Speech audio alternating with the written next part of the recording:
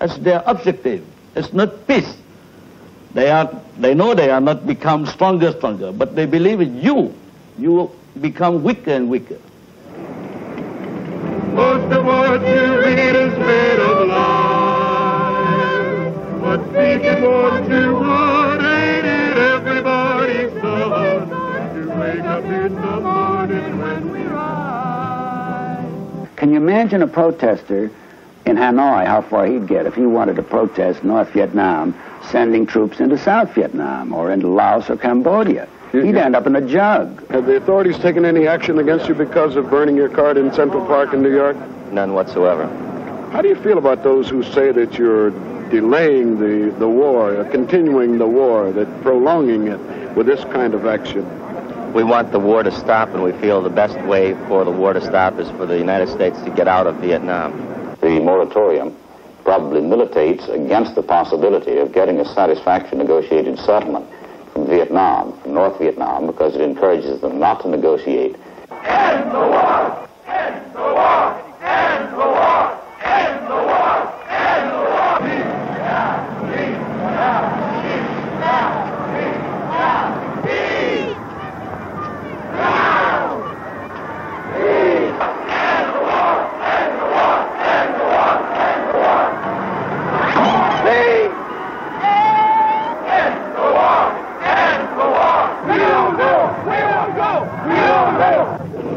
You stupid idiots, you know. What's your name, sir? Never mind my name. I'm from Hungary. I'm a freedom fighter. I fought the communists. The bastards. Those idiotic anti-communists. You stupid idiots. I'm I would shoot you all. I'd like the Russians will shoot you if they come. And half of you have no jobs. You're hanging around the Tudor Street, you demonstrators.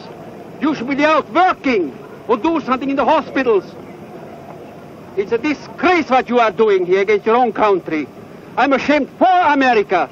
And I'm not an American.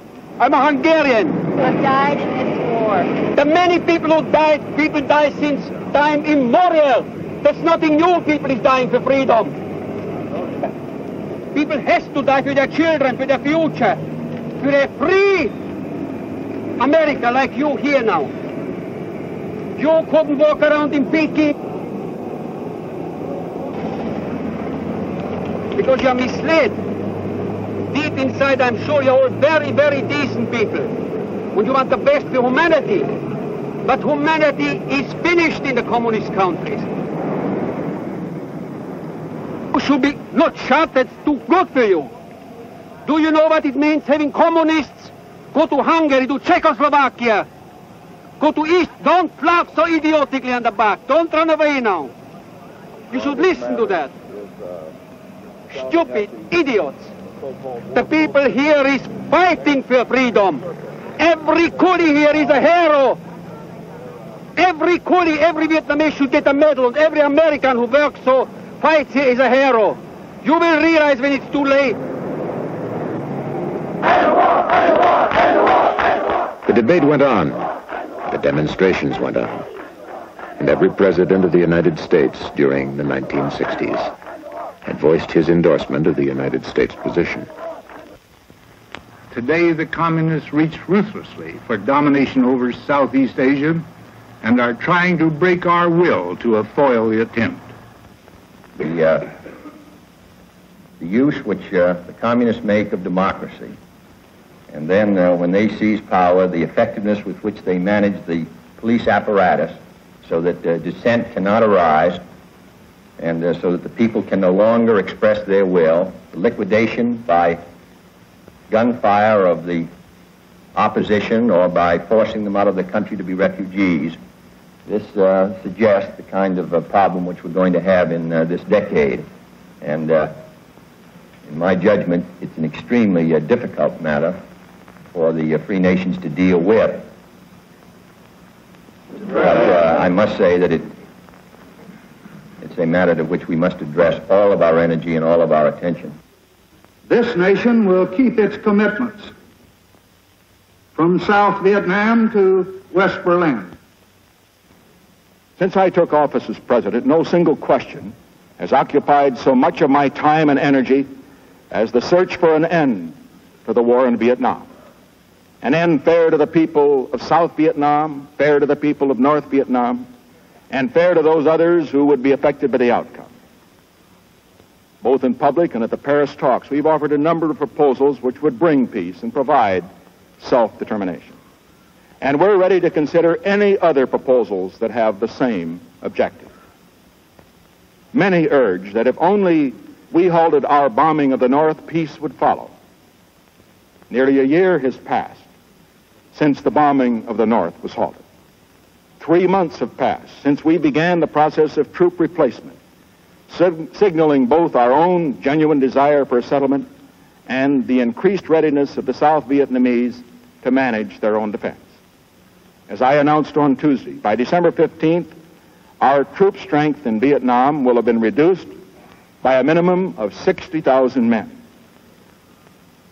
On September 2nd, 1969, North Vietnam's chief negotiator in Paris said that if the United States committed itself to the principle of totally withdrawing its forces from South Vietnam, and if it withdrew a significant number of troops, Hanoi would take this into account.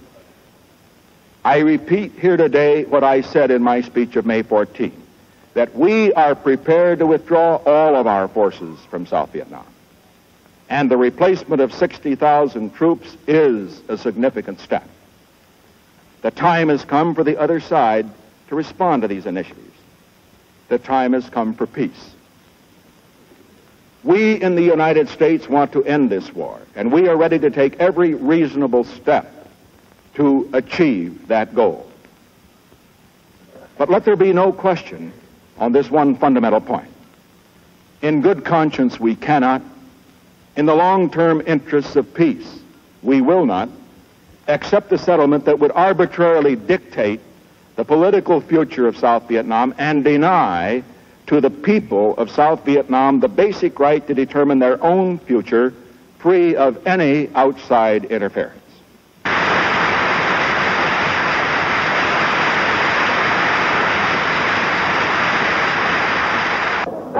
But the demonstrations and parades continued with a yell of hell no, we won't go. In South Vietnam, there were other parades where cries of hell no, we won't go were non-existent. For without defense, their families and country would live no more.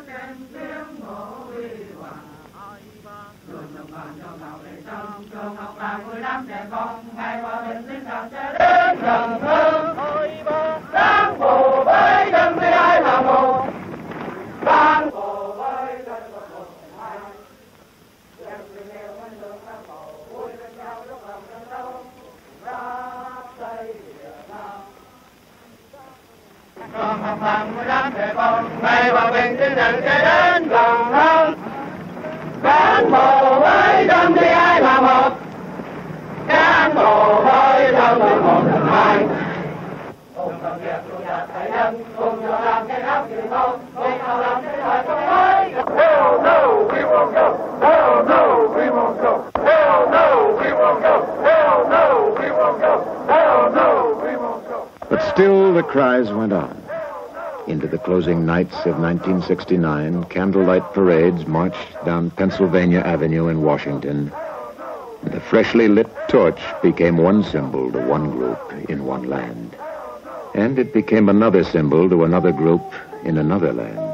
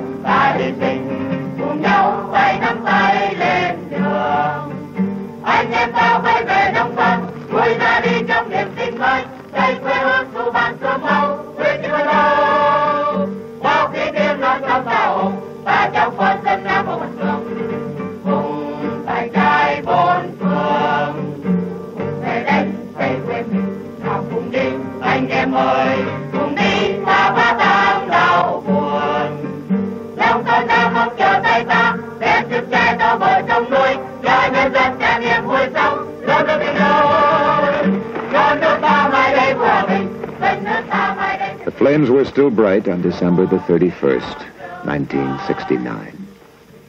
Whether that fire would be a permanent light of freedom or would be extinguished was not to be known within the decade.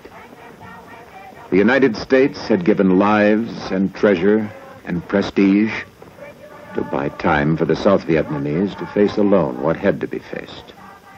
In the last year of the 60s, the troops of the United States were leaving behind trained and equipped South Vietnamese to defend their destiny. For the guns of the North within the South were not silent. Though the decade was done, the struggle of the South Vietnamese to be free was still unfinished.